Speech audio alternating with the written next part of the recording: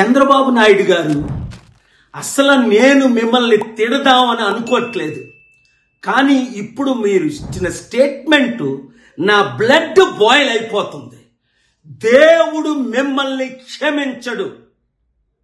Steel plant విషయంలో మీరు compromise అయిపోయి లక్ష కోట్లు తీసుకున్నారా? యాభై వేల కోట్లు తీసుకున్నారా?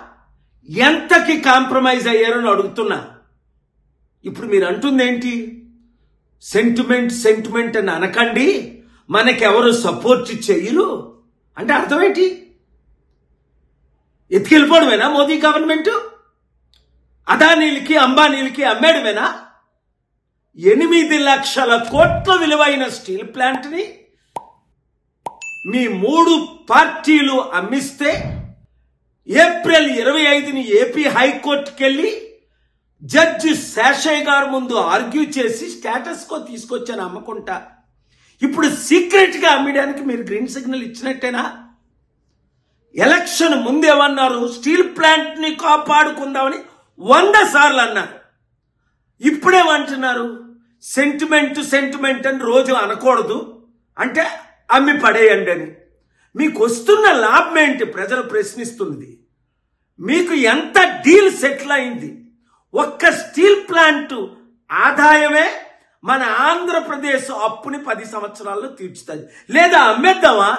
ఎనిమిది లక్షల కోట్లు నేను బేరం పెడతాను. ముప్పై మూడు వేల ఎకరాలు మొత్తం.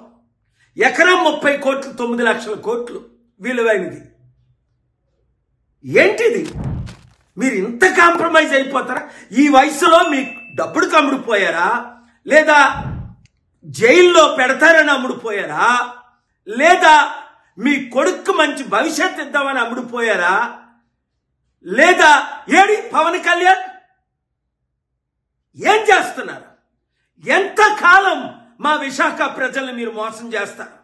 అంటే విశాఖపట్నాన్ని ప్రేమ లేక మీరు రాయలసీమలో పుట్టి పెరిగినందుక నాకు ఊహకు అతీతంగా ఉంది. నేను ప్రార్థిస్తాను. మీడియా మిత్రులారా ప్రతి తెలుగు వాడికి ఈ వీడియో చేరినంత వరకు దీన్ని పబ్లిష్ చేయండి. వైరల్ చేయండి. చాలా సీరియస్ అయిపోయింది. స్టీల్ ప్లాంట్ నా మీద ఒత్తిడి వస్తుంది. స్టే వెకెట్ చేయను.